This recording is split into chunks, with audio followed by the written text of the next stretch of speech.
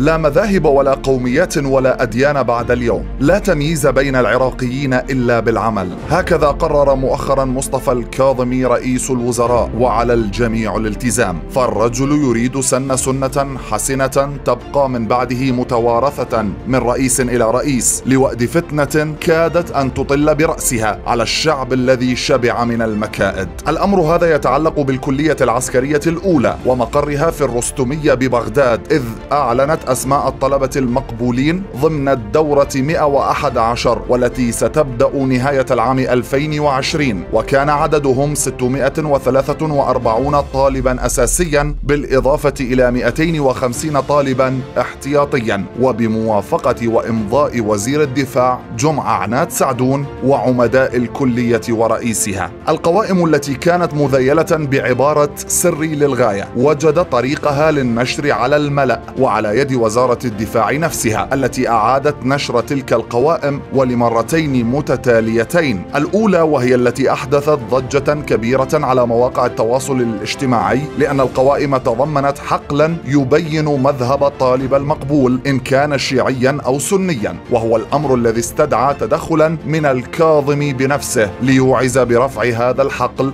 بل وذهب أكثر من ذلك فأمر بمنع أي ما من شأنه تمييز المواطنين العراقيين عن بعضهم. توالت بعد ذلك التصريحات التي تندرج ضمن باب التبرير لما حدث من خطأ فمسؤولو وزارة الدفاع قالوا إن هذا العرف متبع في العراق منذ العام 2003 والهدف منه ضبط التوازن المكوناتي في دوائر الدولة ومؤسساتها وحتى جامعاتها وهو ما أكدته أيضا لجنة الأمن والدفاع النيابية وأرجعته إلى ما بعد العام 2003 نواب كثيرون تحدثوا عن الموضوع وعلى عجالة مطالبين الحكومة بالتحقيق ومنهم النائب كاظم الصيادي الذي اعتبر ما حدث إخلالا بالعرف العسكري وكذلك النائب أحمد الجبوري الذي شدد على التحقيق لكشف المتسببين والدوافع. مقربون من الكاظمي أكدوا إن هذا الإعاز لن ينحصر فقط بالوثائق العسكرية بل سيتعداه إلى كل وثائق الدولة الرسمية وسيستبدل بالمناطق الجغرافية فقط. ما يدل على توجه راسخ لدى رئيس الوزراء